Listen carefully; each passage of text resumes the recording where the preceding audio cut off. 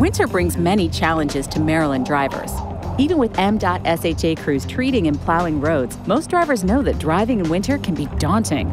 Even after the snow is gone, another nuisance remains potholes. Potholes are a headache for both drivers and road crews.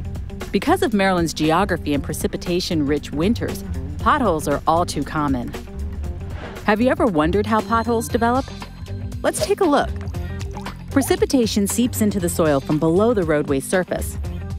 As the precipitation freezes, the ground expands. The melting leaves a cavity. When a vehicle drives over a cavity, the pavement surface cracks and falls into the hollow space. That creates a pothole.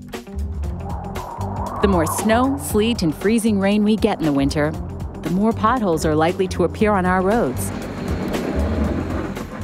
Safety is MDOT SHA's number one priority.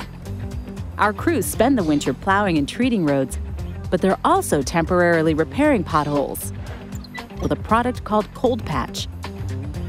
When the weather warms, crews can switch to a more permanent solution called Hot Mix. This allows them to make long lasting repairs to the pothole.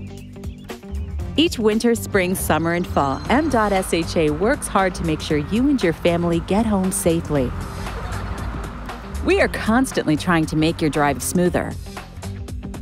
Did you know you could simply contact us by visiting roads.maryland.gov, clicking Contact Us, and submitting a service request form?